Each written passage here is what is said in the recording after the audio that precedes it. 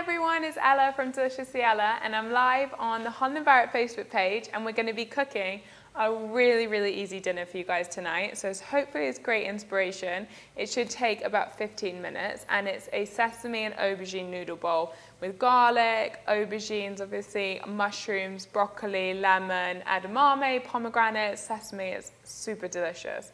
So the first thing we're going to do just to get started is we're going to toast our cashews. So we're just going to put my pan's on, and I'm just going to put them in here and leave them for a couple of minutes. So if anyone's just tuning in now, it's Ella from Deliciously Ella, and I'm showing you how to make a super easy 15-minute supper, a sesame and aubergine noodle bowl. It's vegan, it's super easy.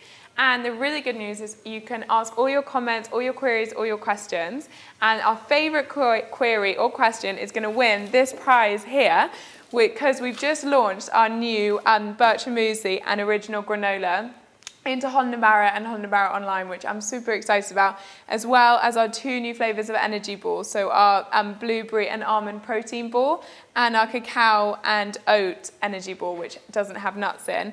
And that's to join our other energy balls, which you already had here, the cacao and almonds, the Barrett's favourite, and then the cashew and ginger and the hazelnut and raisin. So ask your comments, ask your queries, and our favourite one's going to win this box here. And um, otherwise, yeah, you can find them online now, which is very exciting. And they're all vegan friendly and gluten free as well. The birch is my favorite. Just mix it with a bit of almond milk and maybe a bit of coconut yogurt. Let it sit for a minute or two. It's so creamy and delicious. So I'm to just whack my heat up here. And we're just going all we do to start with is just, oh, I left these a little bit too long. They're browning. Okay, we'll take these off. So I'm just to put my cashews to one side. And now we're to start making the main dish. So I've chopped up a little bit of garlic here because I know chopping garlic isn't that interesting, if we're totally honest. And so we're going to start by just adding a little bit of olive oil. So you want a large frying pan or a wok. So I've got a wok here, which is brilliant. And I'm just going to put my garlic into the pan. Oh, do you hear the sizzle?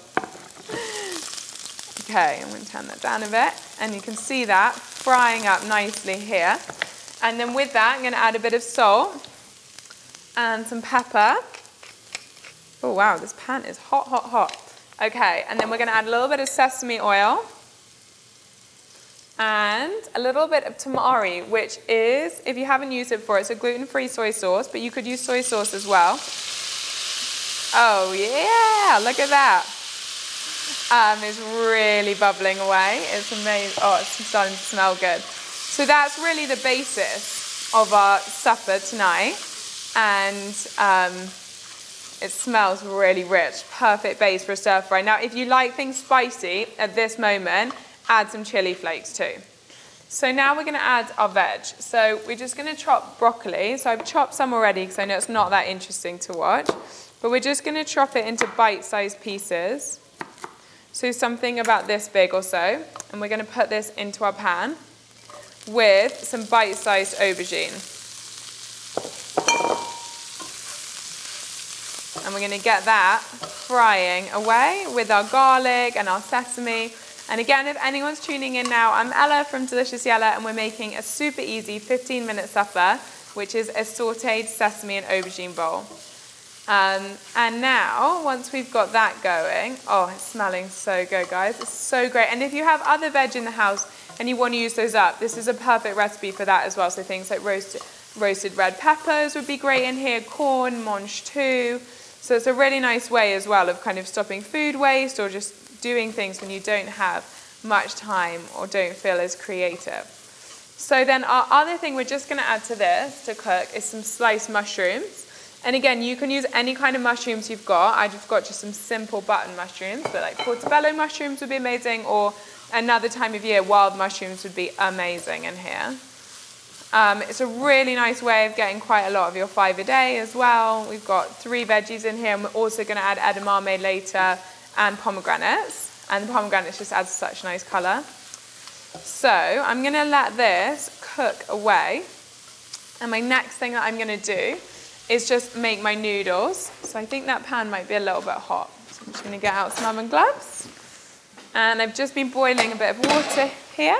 And into that, I'm to put, so these are just some buckwheat noodles. Um, but again, you can use any noodles that you've got at home.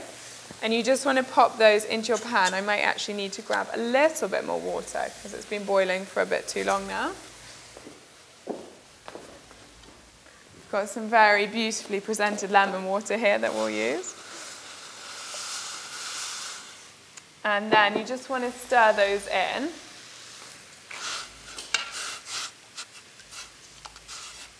It's always so hard to get noodles into a pan, I find. Perfect. And these, yeah, as I said, they just take kind of five minutes to cook. So it's perfect timing with your veg. Basically, by the time your veg has finished cooking, your noodles will be ready. And you can add it all together. Okay, my noodles are nearly there. So while this cooks, I thought this would be the perfect time to answer as many of your questions as possible. So if you haven't answered any yet, now's the time. Ask them away. And as I said at the beginning, the winner's going to win this hamper back there of all our products as well. So do we have any questions? We do. So we have a question here from Lindsay Wood. So she says, hi, where do I start? What does a typical day look like on a plant-based diet? Okay, hi Lindsay, how are you? Um, thanks for tuning in. You know, look, it's all about making it work for you. And I say to anyone, oh, that is very hot, with the way that they cook, it's very, very important that you do it in a way that feels enjoyable because ultimately for anything to be sustainable, it's got to be enjoyable.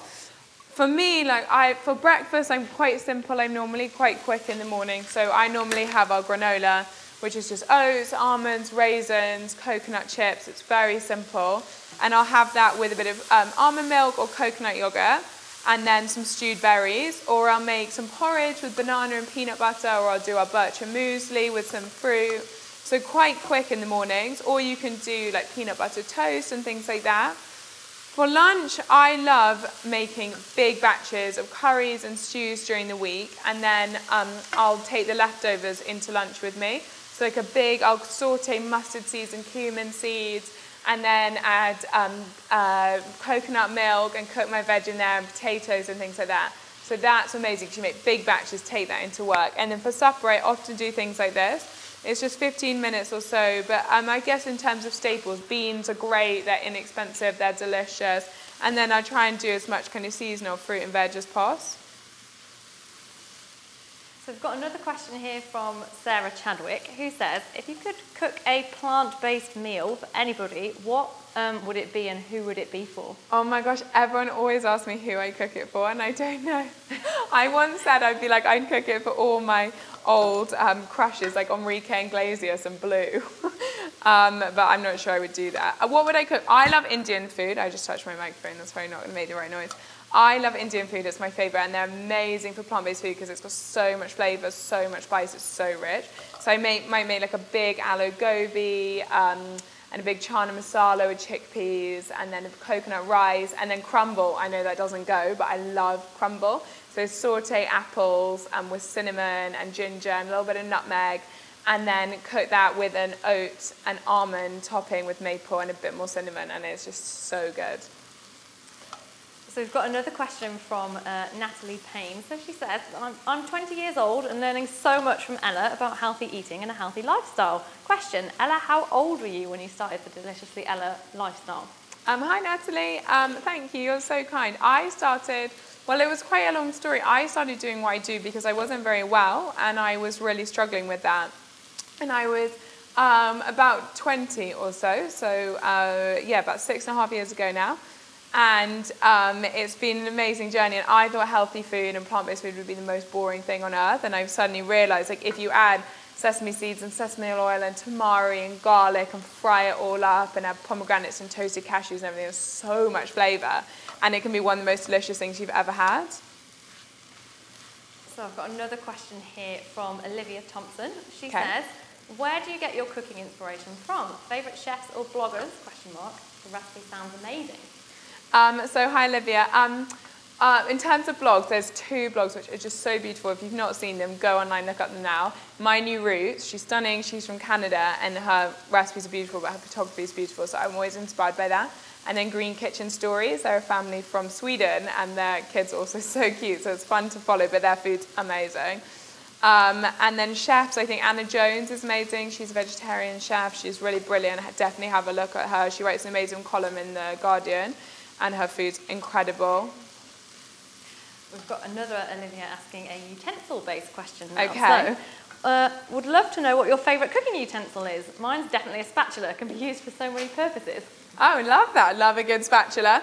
Um, mine is, well, I guess it's probably not a utensil. I do quite like something like a food processor because I do find it gives you amazing flexibility. So I'll make hummus in there, I'll make energy balls in there, I'll make homemade almond butter and things like that, which is just quite fun. It gives me quite a lot of kind of creative license. And you can take something really simple like an aubergine and make it into like a smoky aubergine dip with tahini. And it sounds so fancy, but it's so easy. So I'm quickly going to drain my noodles. So they're done now. And then I'm going to stir them into our stir fry. So I'm just going to take them to the sink.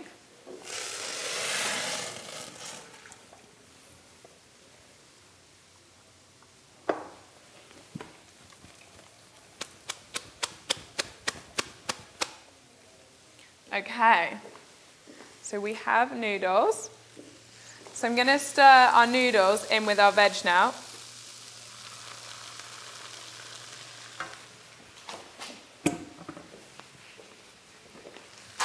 So you can see this really is a super, super, super easy dinner. And now at this point you can add a little bit more sesame oil, a little bit more tamari as well, if you want to intensify the flavors. I always love that. I'm also going to add our edamame beans. Um, sometimes if you use frozen ones, you can just chuck them in with the, because um, they're often easier to find frozen, you can just chuck them in with the noodles for the last minute or so um, but mine weren't frozen. How yummy is this looking? It's so fresh and it's just smelling amazing. And then the next thing that we're going to add is some sesame seeds, which I love, and then they look, they always look really nice. I feel like they make it look really fancy, even when it's not necessarily. And then we're to add a little bit of lemon juice as well. I love lemon. I find it's such an easy way to add flavour to anything. If you're not such a lemon person, then you can skip this step as well.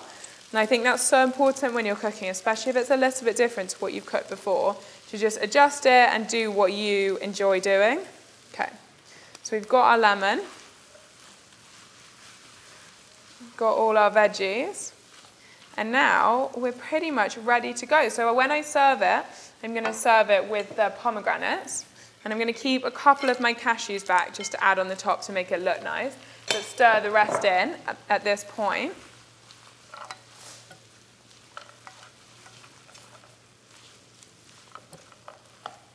And here we go. Okay, so this is our final, final dish. I'm going to turn our heat off. And I'm to just prepare a plate to show you guys. And as, yeah, as you can see, this is the simplest, speediest dinner.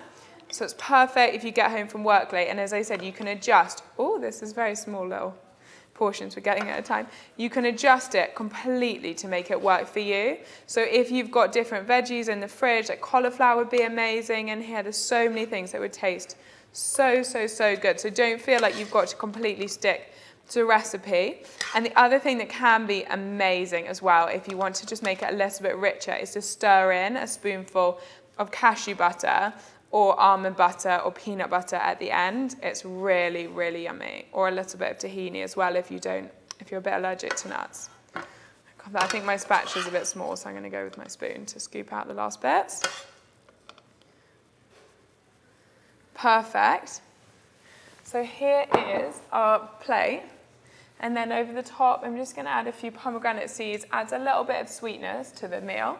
And then a few extra sesame seeds, just because they look gorgeous. And then a couple of our cashews so that you know you've got some at the top. And that's it. And so it really is like 15 minutes, so easy. Nice way to get some veggies into your life. And does anyone have any other final questions? We do. So we've got okay. a question from Karen Whedon. Okay. So she asks, uh, do you think flavour is one of the most important parts of cooking? And if so, what flavours are your favourite? Hi Karen, yeah, I think flavour is so important and I think often when people move to a kind of healthier diet or a plant-based diet, they're really nervous about missing flavour and I think for anything to, to be enjoyable, it's got to taste good. So if you're making those transitions, make sure it tastes good. That's the key for everything for me. When it comes to creating that flavor, I think herbs and spices are the ultimate place to start. Like just fry, and always, I always fry them off at the beginning. So if you fry garlic, onion, different turmeric, paprika, cayenne pepper, mustard seeds, cumin seeds, anything like that.